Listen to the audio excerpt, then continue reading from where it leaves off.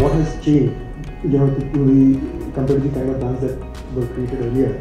Uh, I think at the fundamental level, the consumer, the new age consumer that we talk about, typically the 40 to 80 million Flipkart shopper, you know, taking a ride on Uber, whatever that number be, but let's say it's tens of millions of you know users. I think this consumer is very impatient. This consumer is also very entitled. I think the phrase that Kamal was using. He's also or she is also very aware. They are globally connected. The channels of communication into them are also very. Uh, they are very conducive and actually seeking feedback. Uh, they read reviews a lot. So I think uh, the you know number of options from which they are seeking information about the brands or products they consume are very many and very different from what existed before. Uh, you know, it could be social media, it could be Pinterest, or whatever it is. It is nothing connected to what existed 10 years back. Uh, so that's a very, very tectonic shift that you know in my mind has happened over the last you know decade.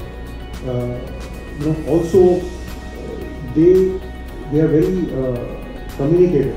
Not only will they seek feedback, but they'll be also very open to writing feedback about your brand if things go right or wrong, especially if they go wrong.